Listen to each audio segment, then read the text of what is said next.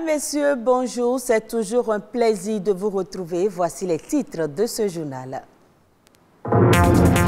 Entraide, solidarité, réciprocité, reconnaissance, tolérance, telles sont entre autres les valeurs prônées par le vivre ensemble célébré ce 16 mai. Comment les Béninois perçoivent-ils ce concept? On en parle. L'hydrogène vert produit par électrolyse de l'eau à partir d'électricité renouvelable représente un des leviers d'avenir pour accélérer la transition vers la neutralité carbone. On s'intéresse à cette source d'énergie ce 16 mai, journée internationale de la lumière. Et puis le soja, en dehors de sa valeur nutritive, est également utilisé dans la cosmétique et les soins capillaires. À découvrir dans ce journal les effets du soja sur le cuir chevelu.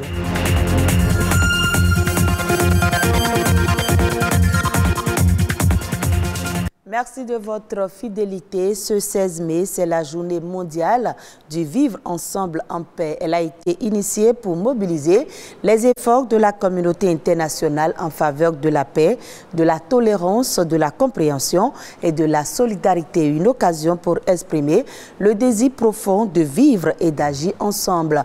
Mais que pensent les Béninois de cette notion de vivre ensemble en paix? La réponse dans ce reportage.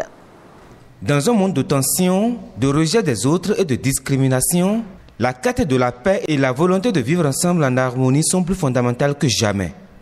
Vivre ensemble en paix, c'est accepter les différences, être à l'écoute les uns des autres, faire preuve d'estime, de reconnaissance envers autrui et vivre dans un esprit de paix et d'harmonie. Sous nos cieux au Bénin, certains citoyens en sont conscients. Vivre ensemble en paix, c'est tout simplement euh, ça part d'un état d'esprit et aussi d'un comportement. La paix, comme on le dit, c'est un comportement. Vivre ensemble en paix avec ceux qui sont autour de vous, avec vous, c'est les respecter, respecter leurs droits, les accepter comme tels. Pour vivre ensemble, tu n'as pas besoin euh, d'être euh, à part avec, avec ta religion. Tu dois être ensemble avec tout le monde. Les musulmans peuvent être ensemble avec les chrétiens, les le vaudouisme, et toute religion ensemble, quoi, confondue peut être ensemble. C'est important de vivre ensemble, de laisser de côté nos différends et de travailler, de coopérer ensemble, parce qu'on est tous des frères. On doit, on doit savoir rester ensemble.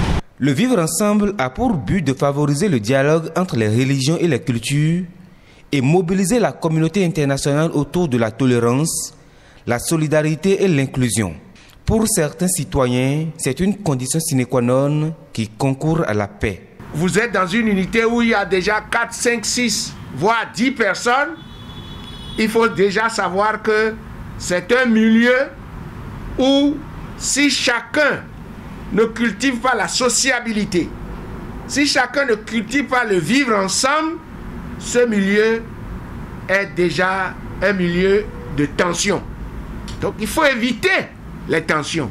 Et pour éviter les tensions, il faut dialoguer. Il faut s'écouter.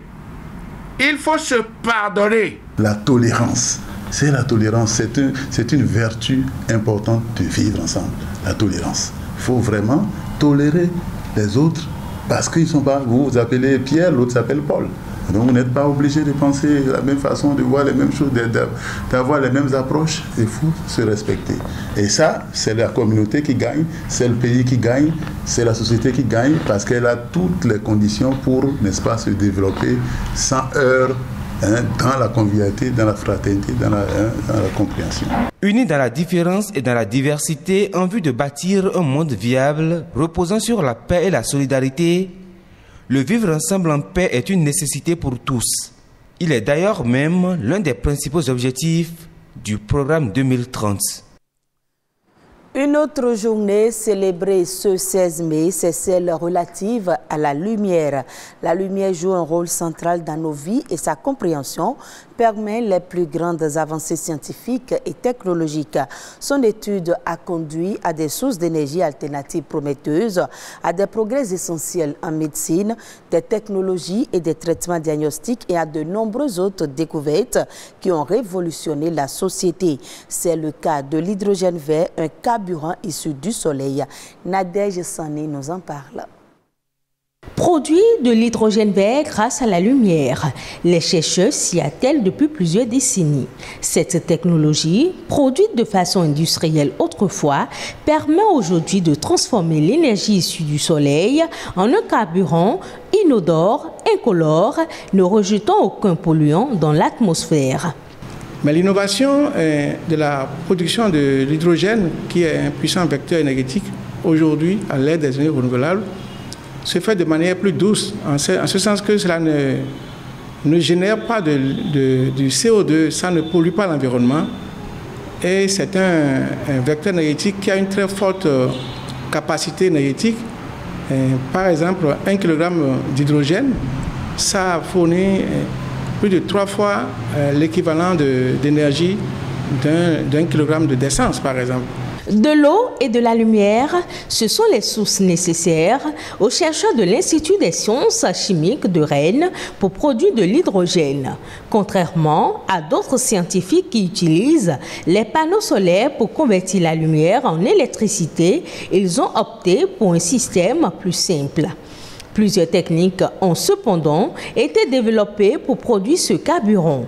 D'après les chercheurs, les matériaux utilisés pour l'instant sont trop coûteux pour rendre la technique viable. L'enjeu est donc d'obtenir un rendement important avec des matériaux à bas prix. Les recherches se poursuivent dans les pays développés.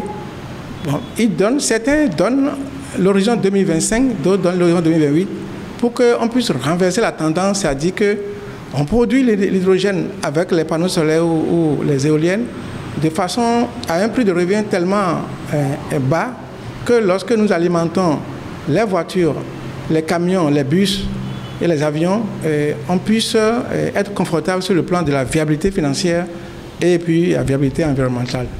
Tout comme l'Allemagne, la Chine, le Japon, la Corée du Sud ou encore la France, de nombreux pays investissent massivement dans l'hydrogène vert afin d'accélérer leur transition énergétique et réduire la pollution liée au transport.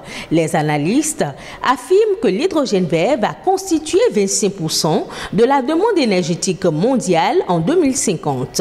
En Afrique, le Maroc fait partie des pays à fort potentiel pour la production de l'hydrogène vert.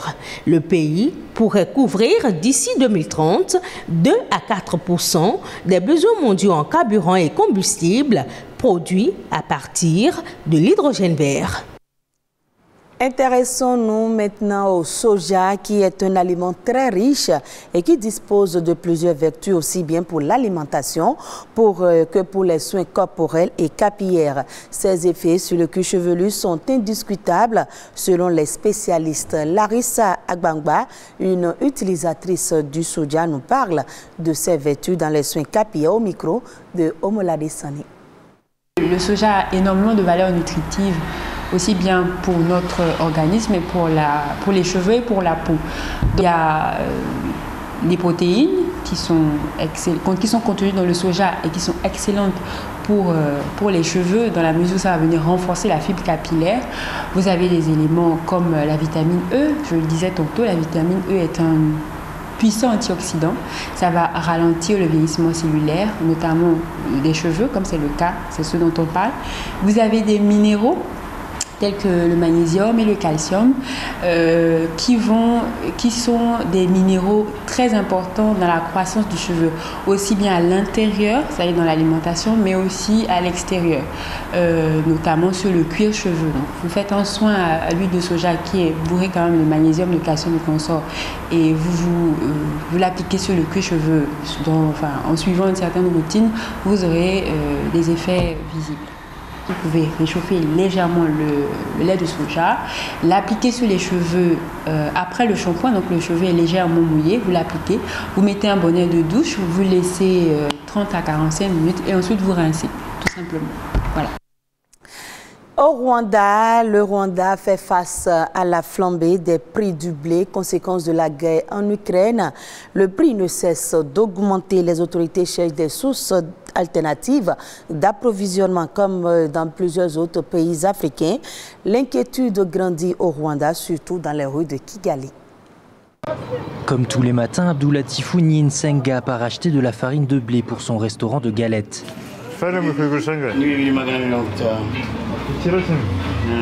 2 euros pour 2 kilos de farine, c'est 25% plus cher qu'avant le début de la guerre en Ukraine. Depuis trois semaines, il y a eu une flambée des prix. Le prix est passé de 1,70€ à 1,80€, 1,90€, 2 euros et aujourd'hui c'est 2,20€. Pour mes clients réguliers, le prix reste toujours à 2 euros.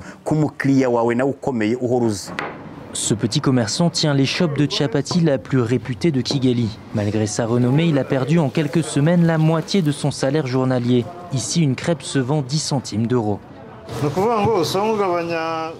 Pour garder mes clients, j'essaie de ne pas augmenter les prix à l'unité de cette chapati.